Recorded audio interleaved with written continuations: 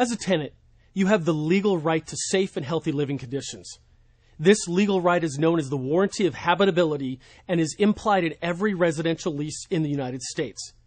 If you've been a tenant for even a short while, chances are you've encountered roaches. In many states, the continued presence of pests such as rats, mice, and cockroaches is a serious enough problem to violate the warranty of habitability.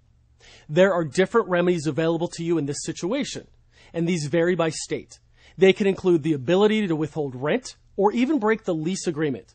In any case, make sure you document the infestation with photographs, videos, witnesses, and copies of letters that you sent to your landlord informing him or her of the problem.